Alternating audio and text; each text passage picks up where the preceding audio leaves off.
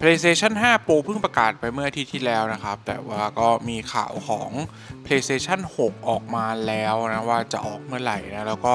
เท่าที่ดูนี่ก็มีความเป็นไปได้สูงมากทีเดียวนะครับ อันแรกก่อนนะก็คือตัว PlayStation 4 มา PlayStation 5 นะครับ ใช้เวลาประมาณ 7 ปีนะ เพราะฉะนั้นเหมือนกันนะครับผมตัว PlayStation 5 มา PlayStation 6 ถ้าเกิดเราเชื่อตามประวัติศาสตร์เดิมเนี่ย ก็ตัว PlayStation 5 เนี่ย ออกเมื่อปี 2020 นะครับ ตอนนั้นเราเจอหลาย ๆ เรื่องพอดีนะ พวกโควิดต่าง ๆ นะครับ แล้วก็ถ้าเป็นไปตามนั้น 7 ปีเนี่ย PlayStation 5 จะออกปี 2027 นะครับผม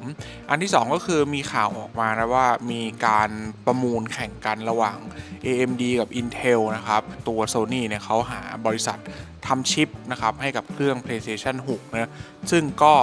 คาดการณ์กันว่าน่าจะออกปี 2027 นี่แหละ แล้วก็คนที่ชนะประมูลเนี่ย ก็คือ AMD นะครับผม เพราะว่า Sony เนี่ยก็มีความกังวลเรื่องเอ่อ backward compatibility นะก็คือ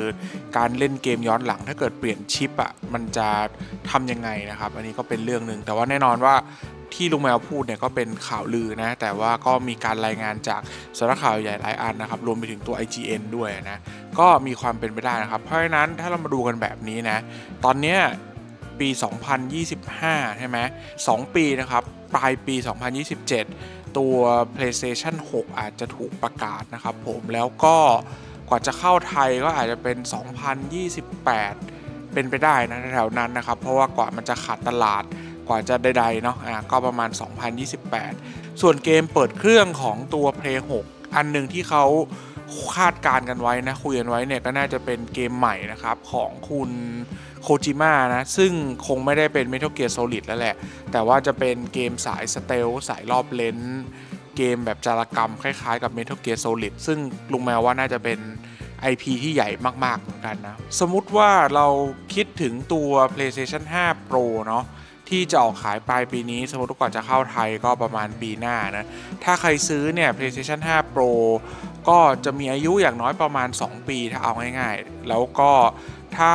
เรามองเรื่องตอน cross gen นะครับว่าแน่นอนว่าหลายคนก็คงยังไม่ซื้อเครื่องทันทีถูกไหม ก็อาจจะต้องรอให้เกม Play 6 เนี่ย มีออกมาเยอะมากพอก่อนนะครับ ก็อาจจะไปได้ถึงประมาณ 3-4 ปีโดยประมาณนะแถวๆนี้นะก็ อันนี้ก็เป็นสิ่งที่ต้องคิดกันสำหรับใครที่เล็งตัว PlayStation 5 Pro ไว้นะ หรือว่าไป PlayStation 6 เลยนะครับ แต่ว่าจริงๆ Pro เนี่ยมันเป็น Mid Gen Upgrade นะครับ ไม่ใช่แบบว่า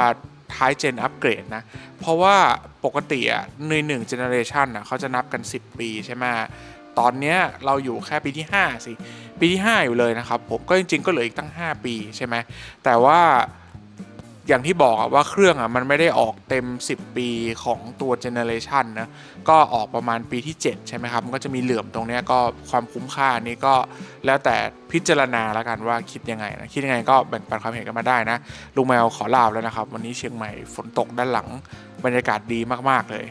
โอเค เจอกันใหม่วันถัดไปสวัสดีครับ